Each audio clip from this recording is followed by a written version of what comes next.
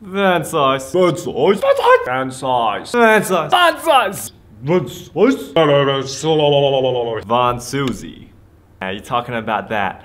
Van Sice. Good morning, ladies and gentlemen. Welcome to another episode of The Studio. My name is Adam, and today's episode is going to be about the Vic Firth Robert Van Sice series.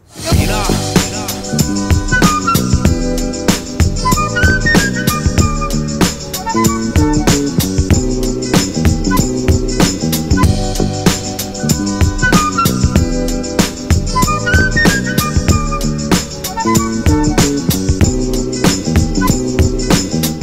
episode is a suggestion from Brennan Morano who said I should review the Van Sice series from Vic Firth. And it just so happens that the Van Sice series is one of my favorite mallet series of all time.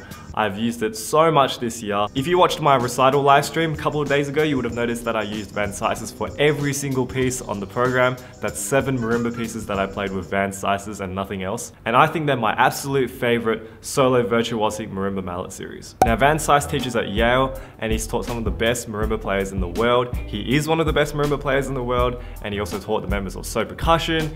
He's just done so much for the marimba community as a whole. He's definitely one of the leading artists in the marimba scene. And his Robert Van Sice signature series by Vic Firth has been around for quite a long time now. And they used to be made by Adams, but now they've been transferred to Vic Firth because Vic Firth makes a lot more mallet sort of stuff. And that means you're getting the Vic Firth balance of quality, as well as a good price, as well as something that actually sounds pretty decent. In fact, that was one of the first things that drew me to these mallets was the price. They were actually quite affordable for what they are. But anyway, the Van Sice series is divided into two streams, monotonal and duotonal. The monotonal mallets come in grey heads and they have the model numbers M11 something. And the duotonal mallets come in blue and they start with the model numbers M12 something. I don't have the duotonal Van Sices because the monotonal ones are a bit more common and I was a bit more familiar with them but I would love to get a pair in the future if someone will send them to me. Hint, hint, hint, hint, hint, hint, hint. Because of that, this video will focus mainly on the monotonal series. Now, the monotonal series goes from hardness levels 1 to 6.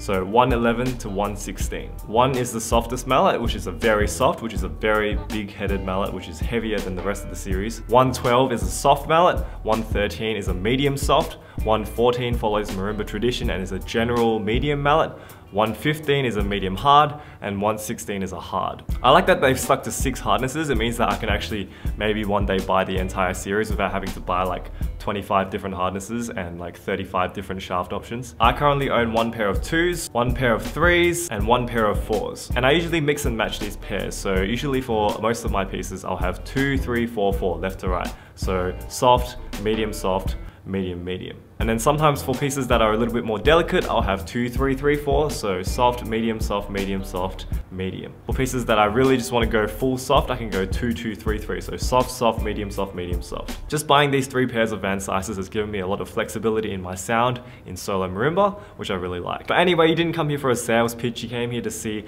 the facts. So let's start with the build quality. First impressions of the Van Sice is that it's a hand-woven, bullet-shaped head, very traditional style marimba mallet. They come in this very stealthy grey colour, which I like. All the hardnesses have the same colour, and it means that you can't really tell the difference between the 2, 3, or the 4. See, they all look the same, so no one can tell you're using a graduated setup. I love being stealthy. Now, Vic Firth makes a lot of claims about this head. For example, the interlocking weave means that it's going to be more robust and it will last for longer, and they say because it's specially hand-woven, there's very little bar contact sound. And I can tell you, after bashing these mallets like crazy, and knowing people who have owned Van Sices for like five, six, seven years, this mallet series does not let you down. There is no contact noise. This gets a very pure sound at the marimba. But I'll leave that to you to judge. Now the shafts of the Van Sices are pretty smooth to the touch. They feel pretty robust. I've done a lot of accidental rim shots on the marimba.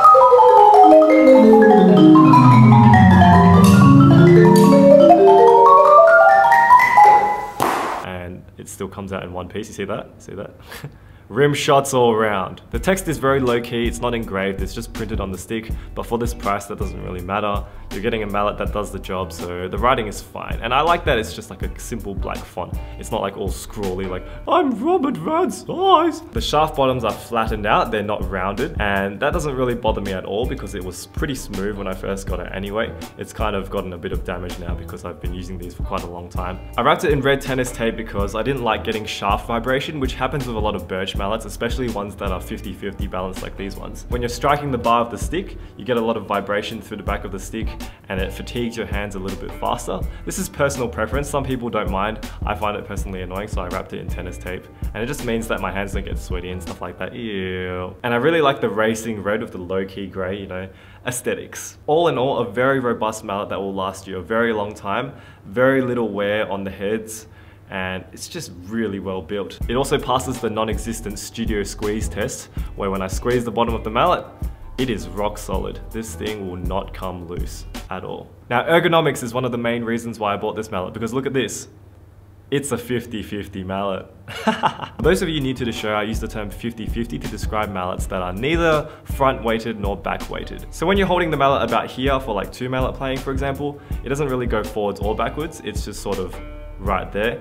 That's 50-50. Of course, no mallet is truly 50-50, so this is more like a 52-48 because it is very, very slightly weighted towards the front. But I really like that because when you use it for a four mallet grip, say for an outside mallet, it just sits in your fingers. It doesn't feel so heavy like it's pushing your hand down. It doesn't feel so light like you're just holding a stick of air. This is pretty much the closest thing to a general weight mallet you could possibly get. And the best part is I can't even tell the difference weight-wise between the two, the three, or the four. They all feel the same. Length-wise, I find these mallets to be pretty much the perfect length. They can reach an octave very comfortably. They can also play thirds and seconds very, very comfortably. You can really get that rotation going because of the 50-50 balance. It's just, in my mind, it's a perfect mallet for me. If you want a mallet that is pretty much near perfect in terms of balance, not too heavy, not too light, right in the middle, the Van Sices will kill it. If you're more a fan of heavier mallets, well I suggest you look through my last few episodes because they've all been about heavy mallets. Now if I had to describe the sound quality of the Van Sices, I would describe it as vanilla. As in it was just the sound of the marimba. There was no contact sound, there's no no bar sound, no shaft sound. It's just marimba sound. I think because of the head design, as in the traditional mallet design, there's not so much warmth because it's got less surface area, but it's definitely got enough for most applications. But I'll let you guys decide on whether you like the sound or not. I'm gonna do a sound test right now and it's gonna be on my new microphones, new recording setup so you can really hear the difference. And my marimba is not in the studio, so I have to go to UWA. Give me a second.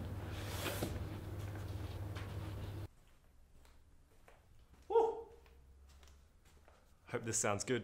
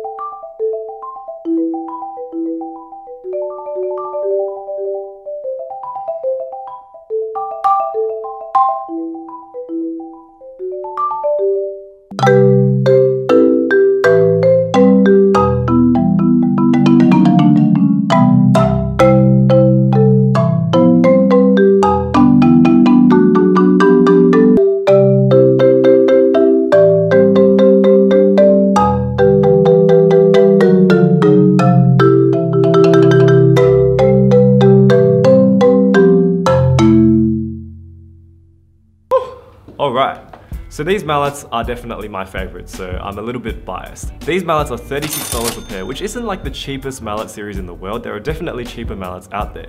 But these mallets are very flexible in their use, they're perfectly balanced, they will last a long time in terms of build quality. The sound quality is really good and will work for a lot of applications. It is definitely, in my opinion, one of the best marimba mallets you can buy right now. That's ice! So if you're a university student or a college student or even a high school student looking for a set of mallets that are versatile and also very good quality for the price, Van Sices every single time, van Sice.